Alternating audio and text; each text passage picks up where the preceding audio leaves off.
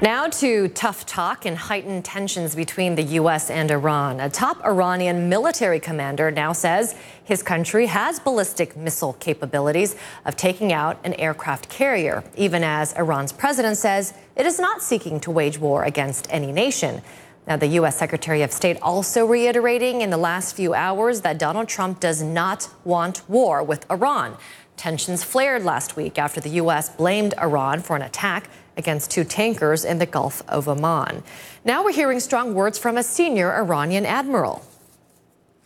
If we would be afraid of their military equipment, we would not be here anymore. All the greatness they ascribe to themselves is worth nothing to us, because a nation that believes in martyrdom cannot be enslaved. We don't want war with anyone, but this is our region and others should not be in it.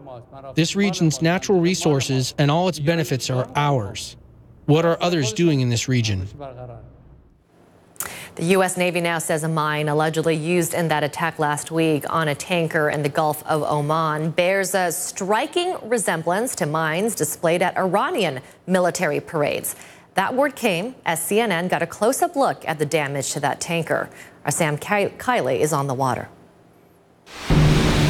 An American naval craft fast approaches a Japanese ship allegedly attacked with an Iranian mine. Gunboat diplomacy. The US taking the media to see the damage done to the Kokuka Courageous.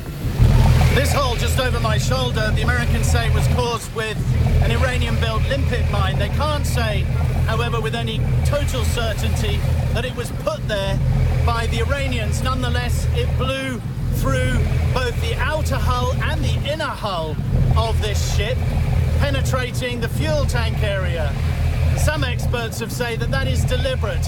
It was a sign that whoever planted this mine knew what they were doing, that they wanted to send a signal but not cause a disaster. The signal is hands off Iran. The disaster would be all out war. US naval experts strongly believe that the mine here and the one removed by Iranian commandos from this same ship were Iranian. The US Navy recovered a magnet from one limpet mine and fragments of another, which has led them to this. What I can tell you is that the limpet mine that was used in the attack is distinguishable, and it is also strikingly bearing a resemblance to Iranian mines that have already been publicly displayed in Iranian military parades.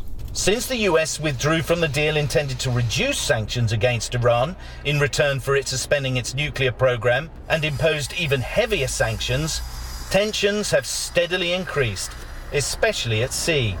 The US sent a carrier group to the region to signal power and discourage Iranian retaliation. In May, though, four ships were mysteriously damaged in Emirati waters by explosions. The Kokuka Courageous and the Front Altair, a Norwegian owned tanker, were both attacked last week. There have been more mysterious attacks on land, most recently in Basra.